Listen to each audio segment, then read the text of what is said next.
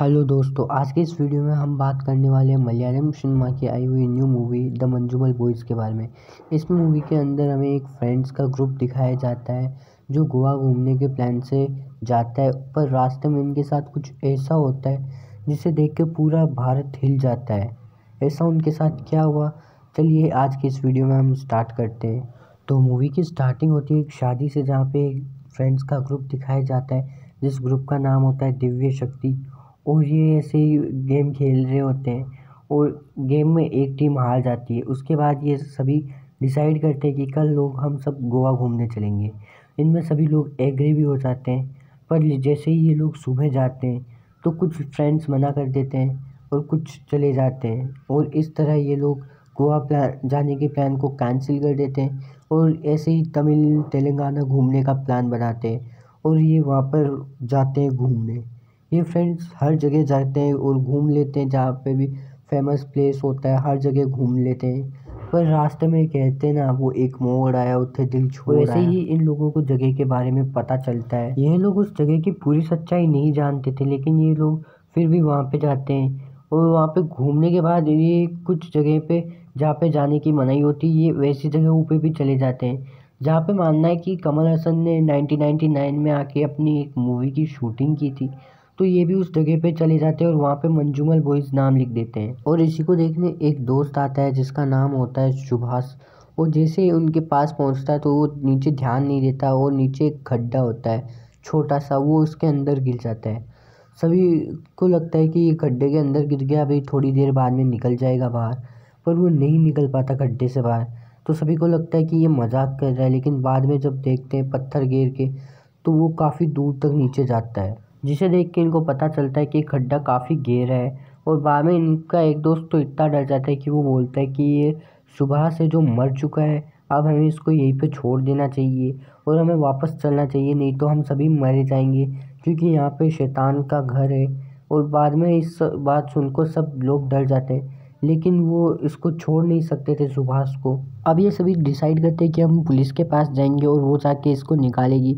तो लोग दो फ्रेंड्स यहाँ से चले जाते हैं पुलिस को लाने के लिए। रास्ते में उन्हें एक आदमी मिलता है, वो उनसे सारी बात बता देता है।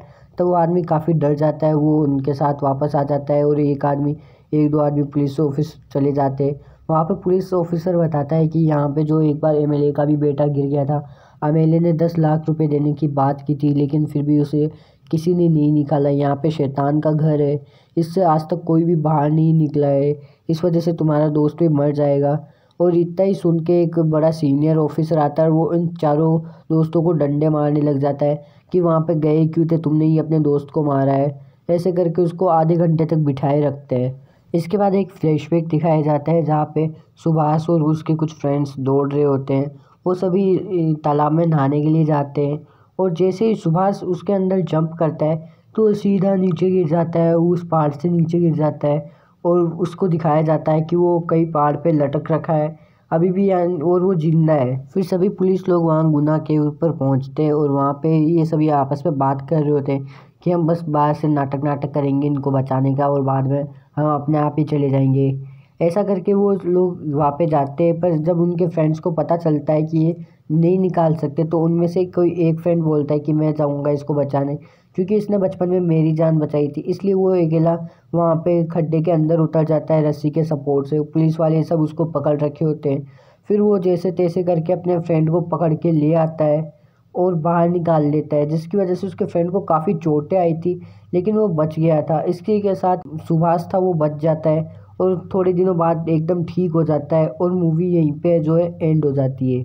वैसे ये मूवी हमें मैसेज देती है कि जैसे कि सभी लोग कह रहे थे तुम्हें यहाँ से निकल जाना चाहिए तुम्हारे दोस्त को मरने दो। यहाँ पे राक्षसों का किचन होता है और तुम यहाँ पे आके मर सकते हो। तुम्हें जा, चले जाना चाहिए यहाँ से। पर दोस्त लोग उसकी बात नहीं मानते लोगों की और वो कैसे भी करके अपने फ्रेंड को बचा लेते हैं। इससे हमें यही सीख मिलती है कि हमें ना दूसरों की बातों में नहीं आना चाहिए हमें अपने आप पे भरोसा रखना चाहिए और ऐसे अंधविश्वासों पर ध्यान नहीं देना चाहिए कि राक्षस का किचन है तो क्या हुआ।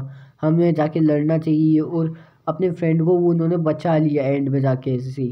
इस मूवी से हमें दूसरी सीख ये मिलती है कि जहाँ, जिन जगहों पे जाने से चेतावनी दी गई है, हमें उनको नज़रअंदाज नहीं करना चाहिए। पुलिस प्रशासन की बात माननी चाहिए और ऐसे रूल नहीं तोड़ना चाहिए। नहीं तो आगे जाके हमारे साथ मुसीबत भी हो सकती है। लेकिन लोग नहीं तोड़ते, ऐसे ही ट्रैफ़िक रूल्स तोड़ते और आगे जाके मर जाते हैं।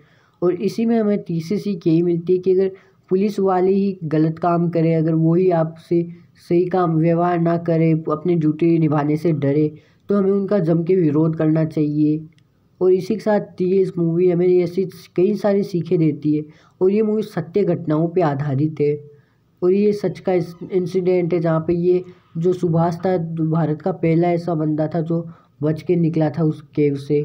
अब अगर वीडियो पसंद आए तो वीडियो को लाइक कर देना, चैनल को सब्सक्राइब कर देना, ऐसे ही मोर वीडियोस देखने के लिए।